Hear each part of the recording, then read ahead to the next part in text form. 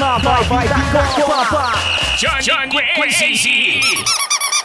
Fala pessoal, na vibe da Copa. Gente, Vicente Feola era o técnico da seleção brasileira que conquistou o primeiro Mundial para o Brasil na Copa da Suécia de 58. O capitão da equipe, responsável pelo nosso primeiro campeonato. E também foi nessa época que o mundo conheceu Edson Arantes do Nascimento, o Rei Pelé, que aos 17 anos já encantava todo mundo. Mas na vibe, amanhã.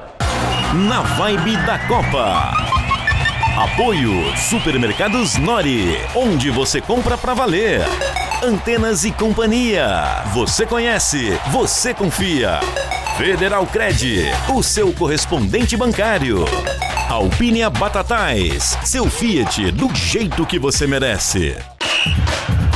Na vibe da Copa.